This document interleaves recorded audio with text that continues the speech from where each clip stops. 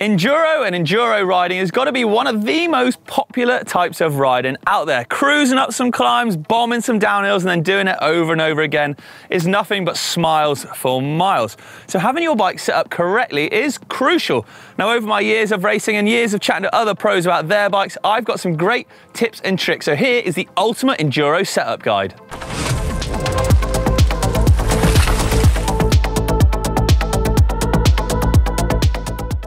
Let's kick things off at the front end, the handlebars. Now, 800 mil is kind of a go-to-ish sort of number for a lot of downhill riders, downhill racers, bombing it around flat out, faster, rougher. Wider gives you a little bit more control. However, enduro is a bit different because whilst we're doing all of that, we've also got to go back up.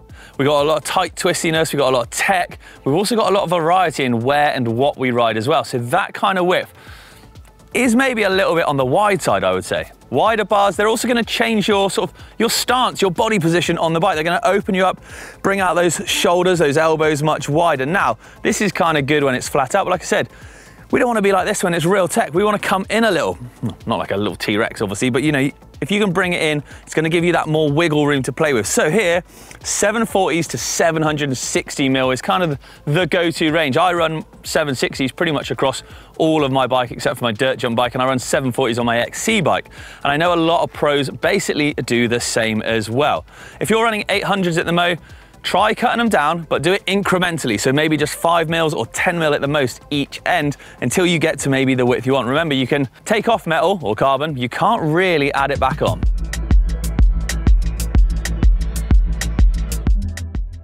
Onto controls. Now, we used to set our controls up so they were just comfy all the time. The kind of old adage was that the, the lever position would run in line with your arms. When you were sitting on the bike and riding along, the levers would be at the same angle if you were to carry on a straight line from, from your upper body.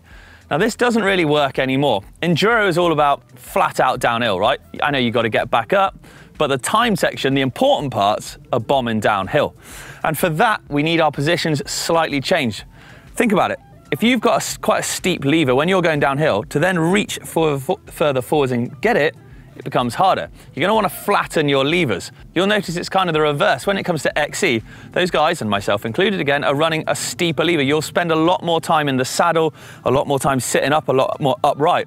So you can get away with that old sort of all in line kind of feel. But bombing downhill, Steeper your bike goes, I would say the flatter you want to put your levers. Also, with your controls, have a little experiment where your brake levers are going to sit both inbound and the actual lever reach themselves.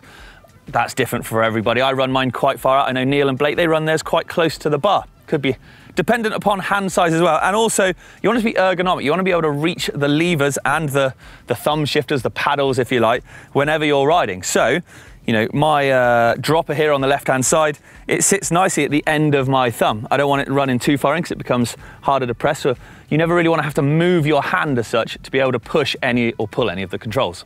Last but by no means least, in Enduro, handguards. Not controls as such, but a lot of riders are running handguards. This is a bit of a, a love-hate. There's a Marmite thing going on with handguards. They do serve a purpose. You know, they will protect your hands from bashing them into trees, brushing on any kind of well, cactus if you're out here in Arizona. Uh, some people think they look a bit kooky, maybe not necessary all the time. It's a personal preference thing.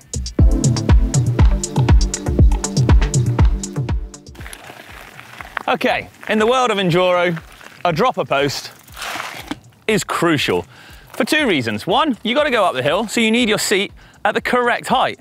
It can't be down low, really uncomfortable to ride, that ain't gonna work. And at the same time, when it comes to descending, pow, you want it as far away out the way as possible. So on this bike here, I've opted for a 200 mil dropper. That's as long as I can get in. I've got it basically slammed all bar maybe five mil.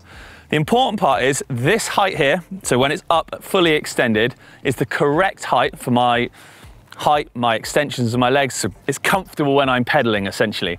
And I've gone for the longest drop I can so that it slams this all the way out the way. It's as far out the way as it can possibly be for when I'm shredding back downhill. Now, two reasons for that. One, it's out of the way. It means I can move my body weight around as much as possible. And also, it just means I've actually got a lot to play with as well. So if I only want it back up a touch just for a quick sprint or something like that, or to take the weight off of my knees or my legs when I'm getting tired, I can without having it to go all of the way. Obviously though, when it comes to dropper posts, you do want to go for as much as you can, I think. but you've got to check the insertion length on your frame. Not all frames are going to take a 200 mil. You can see the seat tube on this Orbea here is really long, so you can get away with it. Double check with the manufacturer first. Let's talk frame size. I'm six foot, this is a size large, it's 485 reach, and it fits me bob on. But people like Jesse Melamed, Richie Rude, Jack Moir even, they're of similar heights, and they're all sizing down. Why is that then? And should you? So, the reasoning behind it is basically a smaller bike is slightly more agile, a bit more maneuverability, you can throw it around, tight twisty tracks, it comes into, own its, into its own a little bit more. But all of those guys have been known to say that actually when they're back home riding trails they're comfortable on, trails they ride all the time, they'll ride the correct size bike for them, if you like, a size large instead of a medium, etc. Now, bike industry, things are getting longer, lower, slacker as well, like we said before. Droppers are getting longer, so you can get away with riding a size down. But that's not to say they don't, and that's not to say that you should either. For most of us then, well, we're only gonna have the one bike. We don't have the luxury of being able to choose between sizes. So unless you want that small, fun, flickable bike that you can ride on tight, techie terrain and you don't ride too much of the flat out stuff, maybe go down a size. However, I'd probably stick to the size that's recommended for you.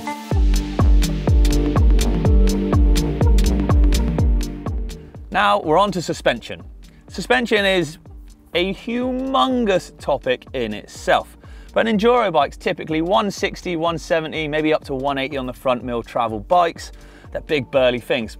Few people like to break the mold. Jesse Melamed, Rhys Verner, they ride sort of slightly lesser travel trail bikes, but still with a lot of travel up front.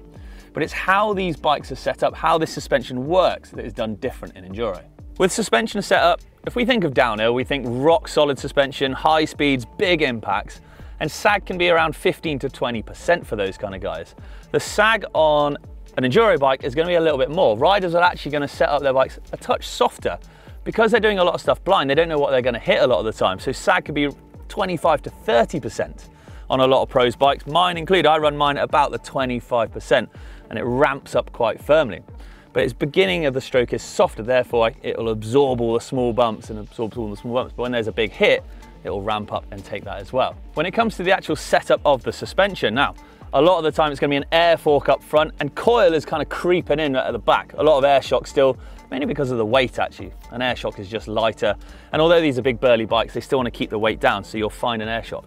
I like the feel of a coil, so that's why I've got one on the back of mine. Riders are also going to run their suspension so it ramps up. So it's going to be soft at the beginning of the stroke to absorb all that small bump and have that nice little bit of compliance. But should there be any unexpected big hits, and it's going to ramp up nicely and absorb that as well. Slightly softer suspension is also going to be a little bit comfier as well. Remember, enduro bikes, enduro racing is big days out on the bike. So if you've got rock hard suspension, well, you're to need some rock hard arms to handle that all day. slightly softer suspension is going to be a lot more forgiving on the body. You're not going to get fatigued as quickly. You're going to be able to ride longer and harder, hopefully. So there's another definite perk to it there.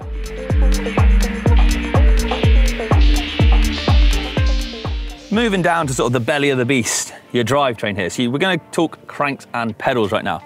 Enduro riders, myself again included, I'm putting, them, I'm putting it out there, I'm myself in that bracket, are running shorter cranks. These are 165s on this bike, and the reason for that is less pedal strikes, cadence can be kept nice and high, and you're going to run quite a small chainring on there as well. 32 to 34 is kind of the norm. And what a lot of riders will do is, we've obviously got a little chain guide at the top here. This is gonna stop the chain from bouncing off. I don't, but a lot do, and you know, it is, can be uh, recommended if it does get really rough and rocky, is a bash guard. Something that's gonna bolt to the ISCG tabs here underneath and protect that chainring from any rock strikes as well. Onto pedals, I'm running flats today, but normally we know that I'm a, I'm a clip kind of guy. Now clips, when it gets really rough for me, help keep my feet attached, obviously, in control of the bike all the time, and I don't have to worry about them skitting or bouncing about. Having said that, if you do want to run flats, a nice solid platform Big pedals for me. You can get a small version of this pedal as well, this Crank Brothers here, but I run the big one. I'm big footed, I'm big pedaled, right? So I want a nice big contact patch. That way, if my foot does jiggle about a little bit, a smaller pedal, I might slip off of it easy. I haven't, I've got a nice solid platform there. Now it might depend on what shoe size you are, have a little think, but combining it with the right shoes as well obviously makes a huge difference to the amount of grip you're gonna get.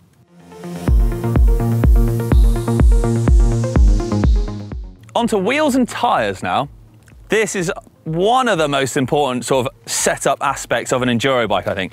So let's start with tyres. 2.6 up the front, 2.4 at the back. Anything within that width range, I think, is going to be bang on.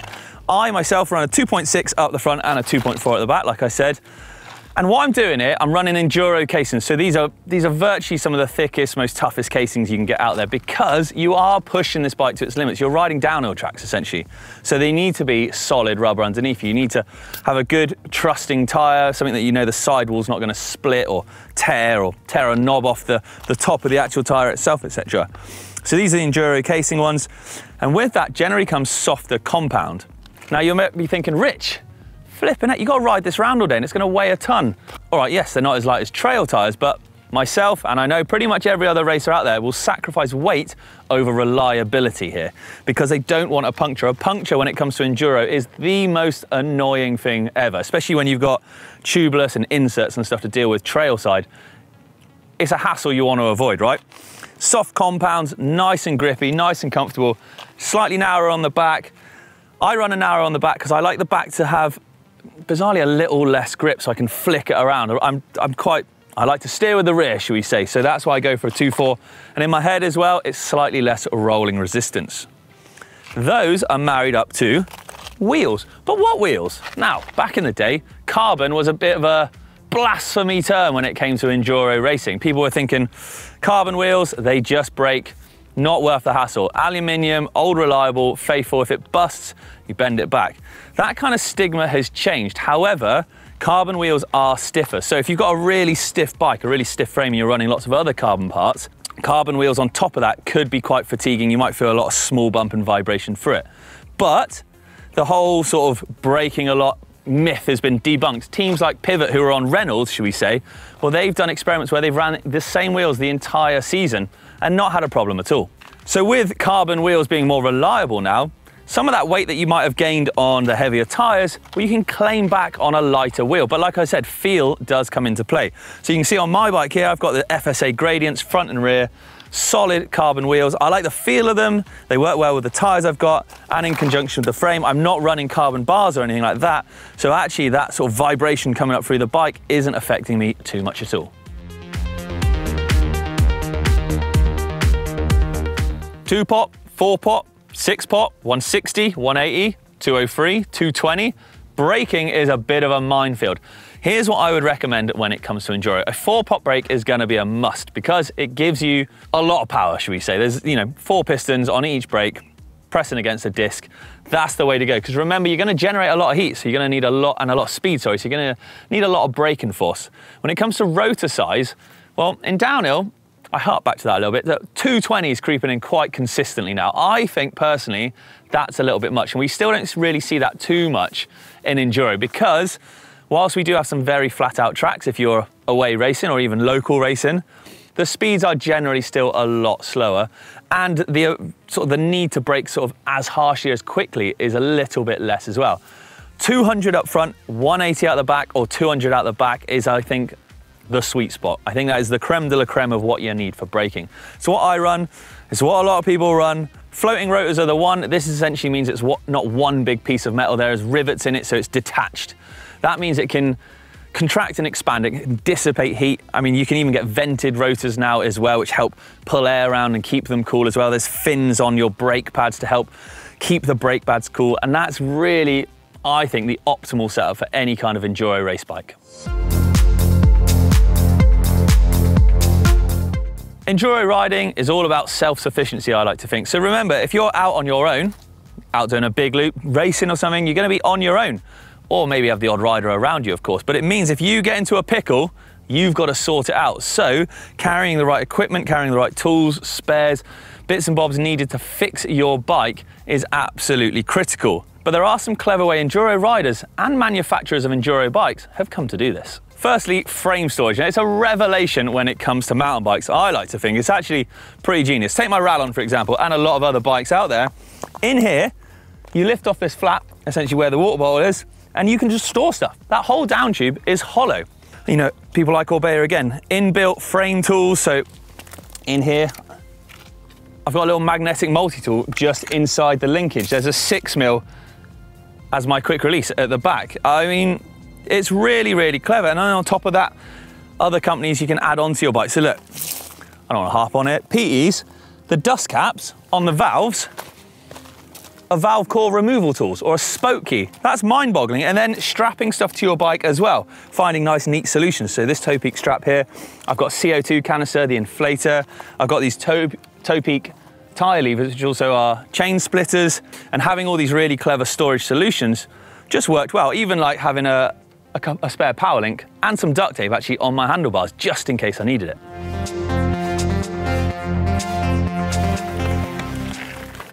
Okay, gearing. So what gearing should you run and what gearing do the pros use? Well, in the EDR, they're absolute weapons. So whilst a lot of us are using 50 to 52 sort of biggest sprocket on the back cassettes, those guys and girls are running up to about 45.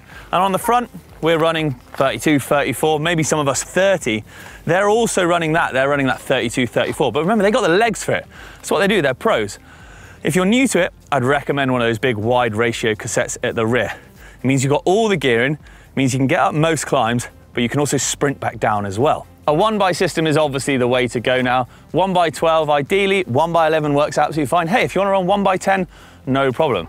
Remember, the other reason EDR guys and girls do it as well, if they're running that 45, the cassettes are actually considerably lighter. So they are looking to save weight in certain places.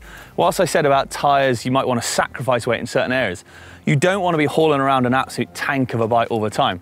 So if you've got the legs for it and you can save some weight, running a smaller cassette is one of those areas that you can shave a few grams off of. And actually, I just really thought about something on the tyres thing. Inserts, great idea. Stick an insert in the back. Remember, they're taking a lot of impacts. So an insert on the rear is a bonus as well. But anyway, that is my Ultimate Enduro setup guide. Let me know what you think. Is there anything you do differently to your Enduro bike? It's pretty much how I have mine. If you want to know any more questions about how I have mine set up for racing, anything from EDRs to local Enduros, let me know in the comments down below. I'm always well keen on the Enduro stuff, so drop us a question. I'll get down there and answer it for you. But for now, from sunny old Phoenix, I'm out of here because I need a good old glass of water, not a cup of tea like you thought I was going to say. See ya.